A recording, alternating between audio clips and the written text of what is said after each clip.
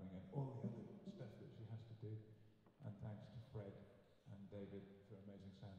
Thanks to Katrina for presenting all these concerts. Thanks to me